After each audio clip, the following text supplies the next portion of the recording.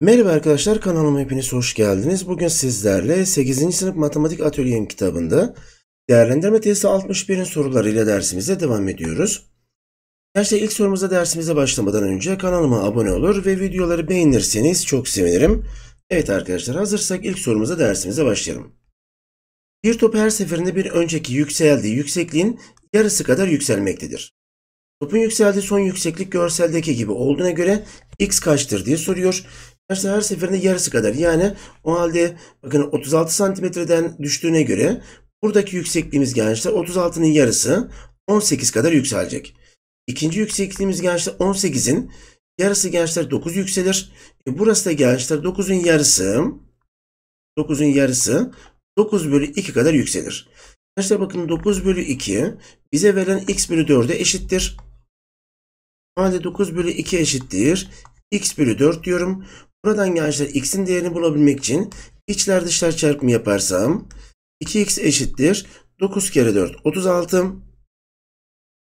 E, 2x'i gençler 36'ya eşitse 1x'i bulabilmek için eşitliğimizin her iki tarafını 2'ye bölecek olursak gördüğünüz gibi x'in değeri 18 olur diyoruz. 18 yanıtını A seçeneğinde işaretliyoruz.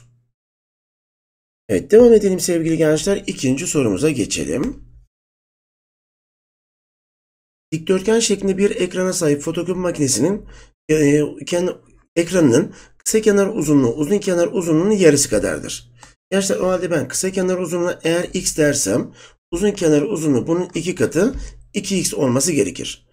Bu ekranın kenarlarına paralel olacak şekilde görseldeki dikdörtgen şeklinde beyaz bir kağıt konulmuştur. Bu kağıdın kenar uzunlukları paralel olduğu ekranın kenar uzunluğunun 3'te 2'si kadardır. Bu ekranın çevre uzunluğu 54 cm 54 birim olduğuna göre kağıdın bir yüzün alanı kaç birim karedir? Gençler o halde bana ekranın çevresini verdiyse ve kenarları x ile 2x dediysem arkadaşlar ben çevreyi bulabilmek için kısa kenar x ile uzun kenarı toplayıp 2 ile çarparım ve çevre uzunluğunu bulurum. E bunun da 54'e eşit olduğunu söylemiş. O halde x 2x daha gençler 3x yapar.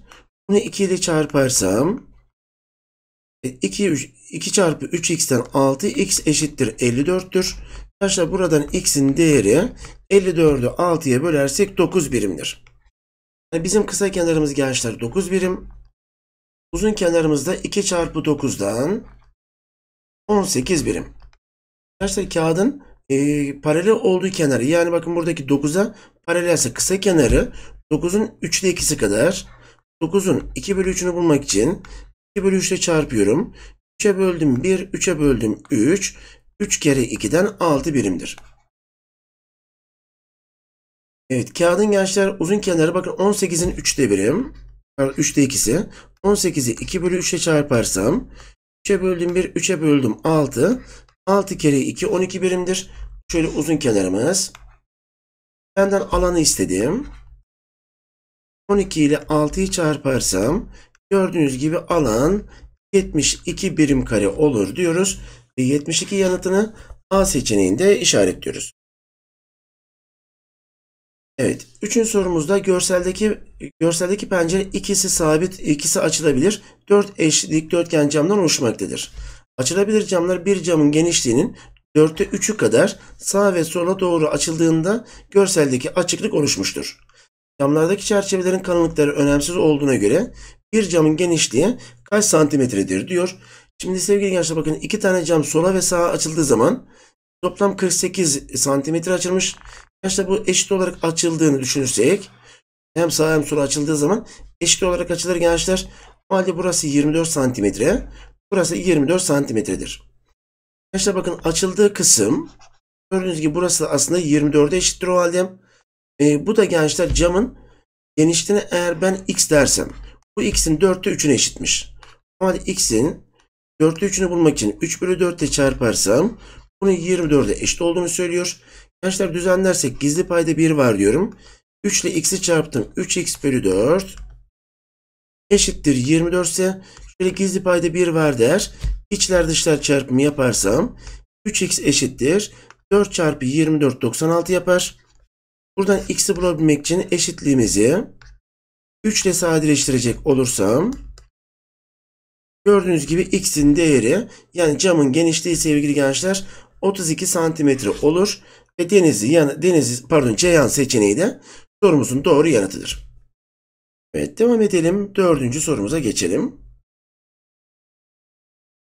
Leyla'nın bankamatik şifresi, kartın şifresi 5 basamaklı olup ilk iki basamağı görseldeki gibidir. Şifrenin yüzler basamağındaki rakam. Onlar ve binler, e, birler basamağındaki basamağını oluşturan sayının, gerçi bakın buradaki sayının 5'te biridir. Bu şifreyi oluşturan rakamların sayı değerleri toplamı 22 olduğuna göre onlar basamağındaki rakam aşağıdakilerden hangisi olabilir diye soruyor. Gerçekten önceki şifremizi bakın 6, 7, Böyle de onlar, yüzler, onlar ve birler basamağını boş bırakayım. İşte bunların sayı değerleri toplamı dediğimiz 6 artı 7 13 yapar. İşte 22 olması için bakın 13'e 9 eklemem gerekir. O halde arkadaşlar bakın bu bizim için buradaki 3 sayının toplamı olacak diyoruz. Evet 3 sayının toplamı 9'a eşit olacak diye gösterelim. Arkadaşlar ben o halde onlar ve birler basamağı öyle sayı vereceğim ki yüzler basamağındaki rakam bunun 5'te 1 olacak. Yani gençler bunun 5'te e, 1 demek bunu 5'e böleceğiz demektir. O halde şöyle gençler bakın e, buraya eğer ben x dersem burası gençler ikisi beraber bir sayı oluşturacak ve bunun 5 katı olacak gençler. x'in 5 katı olacak. O halde toplamları 9 olacak şekilde sayılarımızı elde etmeye çalışalım. Gençler bakın ben buraya 0 verirsem Evet. Şimdi seçeneklerden gidecek olursak gençler onlar basamağı dediği için. Şu onlar basamağında A seçeneğinde 2 yazacak olursam. Gençler buraya 0 yazarsam 20'nin 5'te 1 bakın. Aynı zamanda 5'e bölünen bir sayı vermem gerekiyor. 20'nin 5'te 1'i 4 yapar. O halde yüzler basamağına 4 gelir diyorum. Bakın bu üçünü toplarsam 4 artı 2 artı 0'ın aynı zamanda 9'a eşit olması gerekiyordu. Bakın 6 olduğu için A seçeneğini eleriz. Peki ben onlar basamağına sevgili gençler 3 verecek olursam aynı zamanda 5'e bölünmesi için buraya 0 diyorum. E 30'un 5'te 1'i gençler 6 yapar. Bakın 3'ünü toplarsam 6 artı 3 artı 0'dan gördüğünüz gibi 9 oldu. Demek ki e, sayı değerleri toplamı da 22 eşit olur gençler. O halde demek ki benim burada onlar basamağına getirmem gereken sayının 3 olduğunun ispatını yapmış oluruz ve Bolu seçeneğini de işaretleriz. Devam edelim 5. sorumuza geçelim.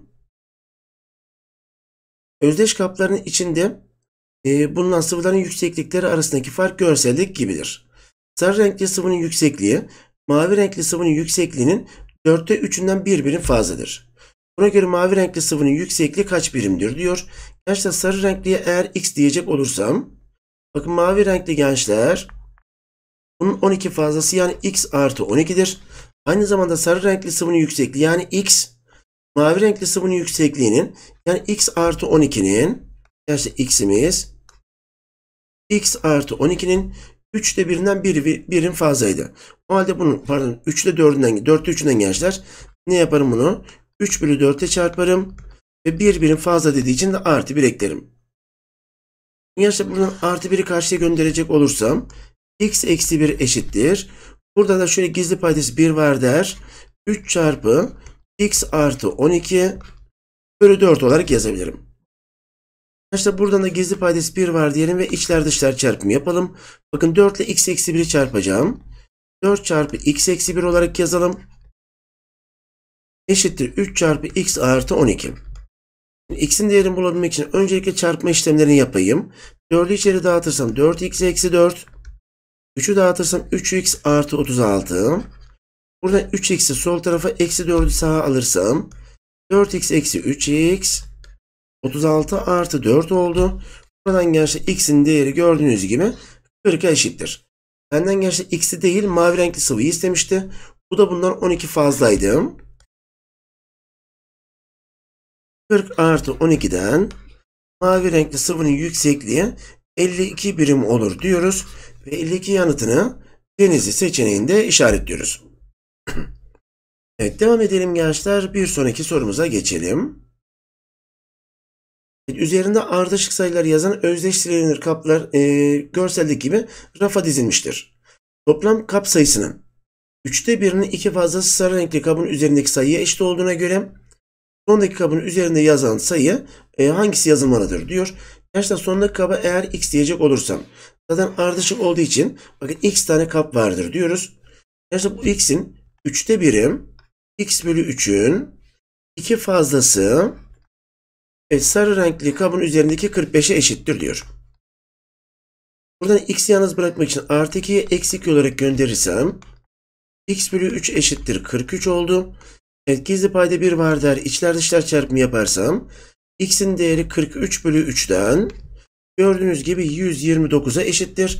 Ve 129 yanıtı Bolu seçeneğinde doğru cevap olur deriz.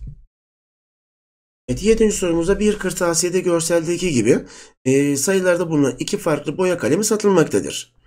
Satılan büyük boy, e, büyük kutu sayısı küçük kutu sayısının 5'te biridir. O halde gençler ben büyük e, kutu sayısına x dersem e, küçük kutu sayısı 5x tanedir. 5x'in 5'te biri x'e eşittir gençler.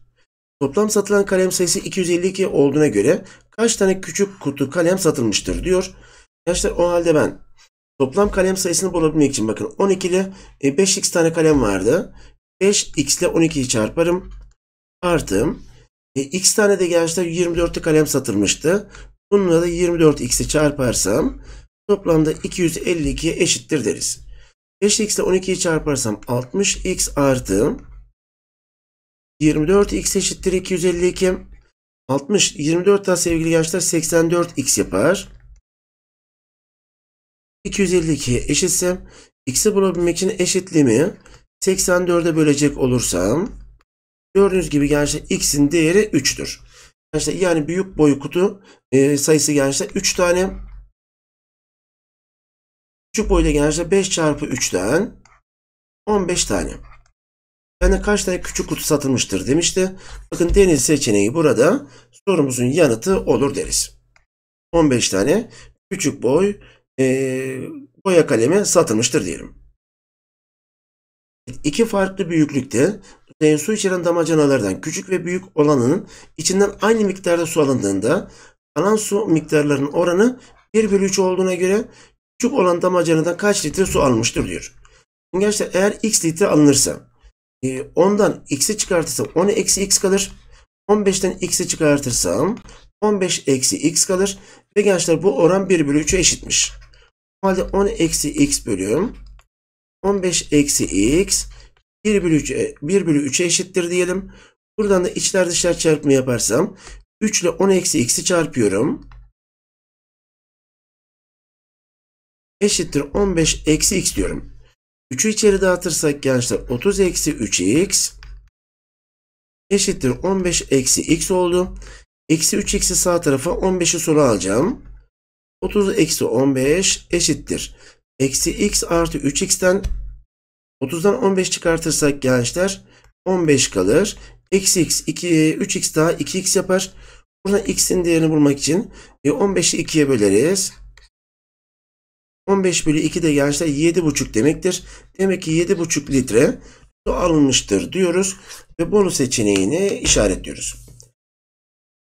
Evet sevgili arkadaşlar bu soruyla da dersimi burada bitiriyorum. Bir sonraki dersimizde görüşmek üzere. Kendinize iyi bakın, sağlıcakla kalın.